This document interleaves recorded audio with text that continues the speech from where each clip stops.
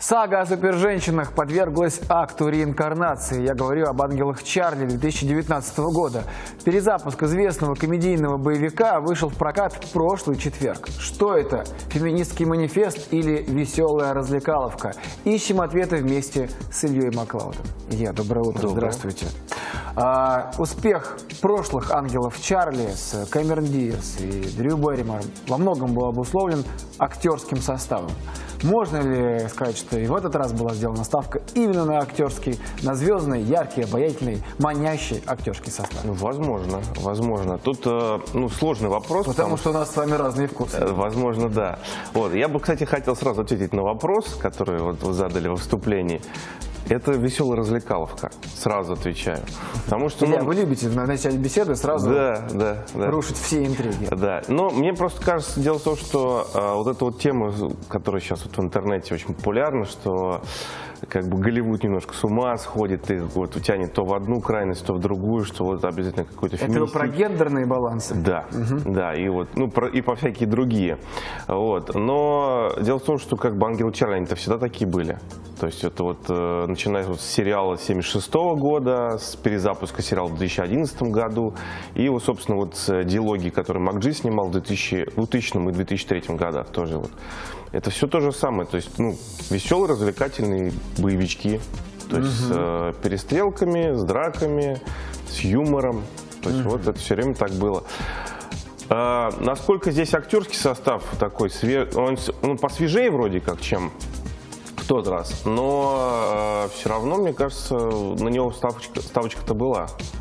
Вот. Именно ставочка. Да. Вот. Тут еще как бы очень интересно, что, что там вот именно, как сказать, роль второго плана, да, там э, отдали там Патрику Стюарту э, и Элизабет Бэнкс, она, кстати, еще и режиссер, вот, то есть, э, ну, тоже вроде как вот не главные роли, да, но на них тоже как бы ставочка хорошая Давайте про главную поговорим. Да. Каменная, ледяная, Кристен Стюарт. Согласны с этим? была. Была раньше, мне кажется, вот как раз в этом фильме, я просто, ну, смотрел, наверное, не так много фильмов, может быть, фильмов 6, вот, но м, она как-то по, поживее стала, что ли, видимо, с возрастом как-то вот приходит к ней немножко другие образы, немножко другие грани, наверное, ее актерства раскрываются. Мгм. То есть она здесь раскрывается совершенно Да, иначе. да, она как-то поживее гораздо, чем мы привыкли, например, там, в, в тех же «Сумерках» ее видеть.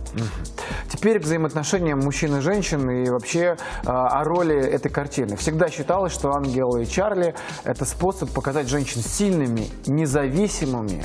А, тем более для Голливуда вот этого года, да, это абсо- абсолютно актуальная Да. тема. Но здесь мужчины показаны либо злыми, либо тупыми, либо какими-то другими. А, не считаете так, что ни одного нормального, грубо говоря, мужика в этой ленте нет? Ну, я не согласен, они там есть. Вот, то есть, э, например, там играет, эм, а там вот эта вот роль Босли, да, она присутствовала и ранее в фильмах про Ангела Чарли, да. Здесь сразу три Босли присутствуют. Вот. Но это надо фильм смотреть, то есть почему так. Вот. А Джимон Хансу, например, это вот э, чернокожий актер, э, он, собственно, очень много сейчас здесь снимается. Вот у него здесь замечательная роль, жалко, она как бы у него коротенькая, но вполне себе почему. То есть есть там нормальные мужчины. Я не могу сказать, что там как-то вот... э, просто мне кажется, что это тут, э, как правильно сказать, это феминизм третьей волны, который вот, за, э, ну, понимаете, да? чем я Феминизм говорю? третьего. Да, о чем я говорю, да, он здесь неприменим просто к этому фильму, потому что здесь как бы мужчин-то не сильно принижают. Есть, нет, есть отрицательные роли, понятно, что в любом фильме, кто бы не играл отрицательную роль, а, мужчина либо женщина, то здесь вот как бы, ну, будет ну, принижен как-то вот его образ. Но я не должен, не могу сказать, что как бы в этом фильме это как-то сильно ярко выражено. Если только там как-то вот искать, присматриваться, то, наверное, да. Напоследок сравним а, ленту 2000, 2000-2003 и 2019 года. Ну, на самом деле, это вот не совсем перезапуск, как казалось. Если фильм смотреть, это такое продолжение, такое сильно отдаленное. Поэтому, ну, наверное, чуть-чуть послабее, но там надо понимать, что те-то фильмы снимал Макджи, это режиссер видеоклипов, и он умел вот в картинку и вот во всякие спецэффекты красивые, постановку. А здесь, э, как бы, ну, немножко по-другому получилось. Немного про другой фильм, но мне кажется, он тоже интересный. То есть, если вот не вдаваться в это, то таких фильмов просто сейчас не так много веселых.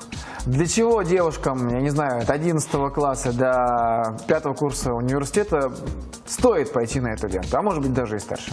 Да просто по- поразвлекаться. Не ради того, чтобы выкрикивать «вот вам, вот вам». Ни в коем Мужики, случае. Нет, да получайте. это же кино, кино для развлечений. Хорошо, Илья, спасибо, что были с нами сегодня утром. Поверили нам об еще одной интересной ленте, которую стоит увидеть. Стоит?